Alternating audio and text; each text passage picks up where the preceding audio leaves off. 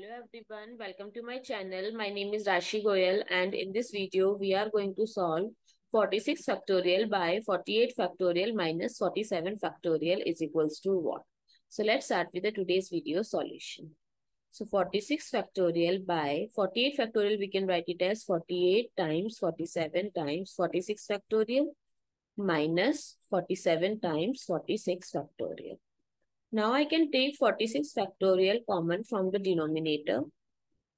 So what is left? 48 times 47 minus 47. So we can cancel out this. So 1 by, if I'll take 47 as common, so 48 minus 1. So 1 by 47 times 47. That is 1 by 47 square so 1 by 47 square, we can write it as 50 minus 3 whole square. So I can use a very famous identity, a minus b whole square, a square plus b square minus 2ab.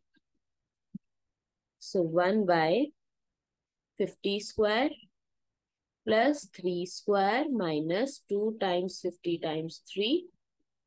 So 1 by 2500 plus 9 minus 50 times 200 times 3 300. So 1 by 2500 minus 300 is 2200 plus 9 which is equals to 1 by 2209. I hope it's clear and you find it useful. So please give us a thumbs up and do subscribe to my channel. Stay tuned.